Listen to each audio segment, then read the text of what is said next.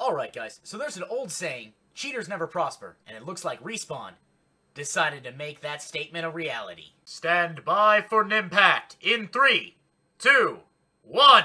Now, for those unfamiliar, Apex Legends was Respawn's big smash out kind of sleeper hit. They just announced it, dropped it, and one month later it made like $90 million. But, as we can see from this article by Vikki Blake, who the link will be in below in the description, uh, we see Respawn's latest anti-cheat measures sees Apex cheaters banned by hardware IDs. Alright, now before I continue, yes, more of that. Okay, so I, have played a lot of MMOs in the background, you know, for background for me. I've, I've played a lot of MMOs. I've played a lot of things where I'm working with people or I'm working against other people, and there's something that just enraging, you know, just mm, about cheaters. Something enraging about cheaters. I hate cheaters. I don't hate them as people, I just, I hate the behavior. Anyways, so continuing on. Uh, Respawn has banged the swift hammer of justice once again. Hardware ID banning a number of Apex Legends players on PC, including one prolific cheater who was banned again and again as he attempted to bypass the bans live on Twitch. Now, that being said, if you're going to try to bypass something while other people can see you, okay, I, I can see that, I guess, but don't be surprised if they if they don't just nuke you from orbit. You're like, oh, hey, hey, officer, officer. Yes. I'm gonna try to rob this bank, okay? Just just stay there and see if I'm successful. I should probably be in the vault in eh, 10, 15 minutes. All right then, son. I'll get a coffee, and then we'll, uh, we'll see what happens. Thanks! I don't know what you think is gonna happen if you try to break a company's product while they're there, especially since it's a digital license, and they can revoke the license at any time. Boom! All right, as uh, shared on uh, ResetEra and Reddit. Now I'm gonna I'm gonna keep going uh, through that. I don't I'm not worried about that so much, but just know that it is a changing IP addresses and other such fixes are not effective as hardware ID code is unique to your computer's hardware. So you could probably get away get around it if you bought another motherboard.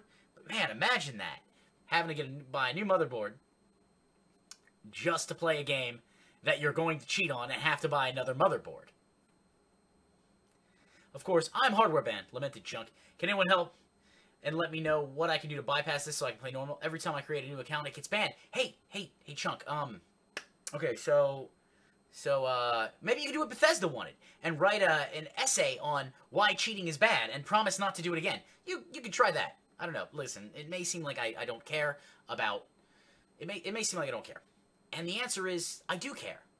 I am deriving a lot of, uh, we'll say, perverse joy out of cheaters being banned. And then, of course, uh, another Redditor posted moment by moment uh, live updates of a streamer taken down on live stream, uh, chronicling the cheaters' taunts and jeers right up until he gives up and switches to a fishing game.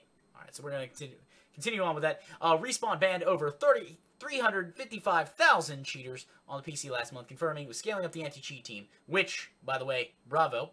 Keep in mind, you also probably want to have QC and balancing teams as well. Cheating is one thing, but you got to make sure that your game functions in a live state, meaning that you want to make sure that it's free of bugs, or at least as free bug-free as possible. You want to make sure that it's free of exploits, at least as uh, exploit-free as possible. And you probably want to get rid of any microtransactions or cache. Wait, no, that's opinionizing. I'm sorry. I shouldn't opinionize, shouldn't editorialize. Should just breed, you know, give the thanks. I'll give the take afterwards. So it says they say the service works but the fight against cheaters is an ongoing war that we'll need to continue to adapt and be very vigilant about fighting. Respawn said at the time, we are taking cheating very seriously and care deeply about the health of Apex Legends for all players. Okay, so, now that we've done that, now that we've seen that, and again, the article was by Vikki Blake, so I'll link will be in the description. Let's talk about why this is a good thing. Okay, so Respawn literally came out and gave EA who was having just a terrible year, just an absolutely terrible year press-wise, gave them just, oh my god, like this is this may this is owned by EA, it's amazing, and it single-handedly, boom, turned the PR around.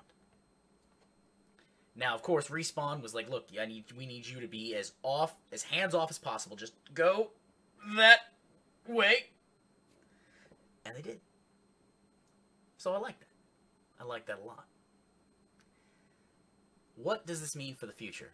Meaning, if you have hardware ID bans, that means that the cheating sites are gonna be are, are gonna are gonna be down uh, eventually because no one's gonna be able to afford to buy the cheats because it's like, well, I may have to buy new hardware to get around this. Of course, no solution is perfect, and people will eventually find a workaround, or they'll have private servers at some point. Who knows?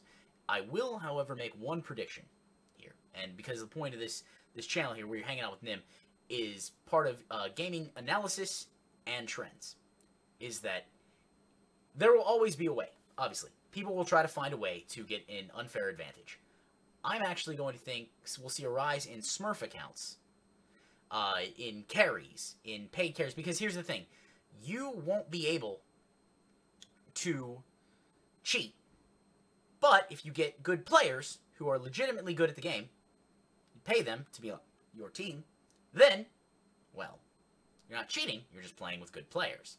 And of course, the good players may, may make a nice, tidy profit of this. So I wonder if we'll see some win trading or things like that. Uh, keep in mind, for editorial uh, accuracy, I do not play Battle Royale games. I'm not a fan of them. I played about three hours of PUBG, and I was like, eh, it's just not for me. It's not my thing. But I want to make sure that you guys know that Respawn is trying to keep its game living and moving forward, especially since it did fall against Fortnite in the rankings on Twitch recently, so it wants to make sure it's nice and strong. So bottom line, tell me what you think about anti-cheating. Is being banned by Hardware ID too much? Or is it not strict enough? You know, would you want them people to nuke, you know, walk, kick in the door, boom, kick in the door, da da da da da da da, just blow, just blow the PC away? I don't know.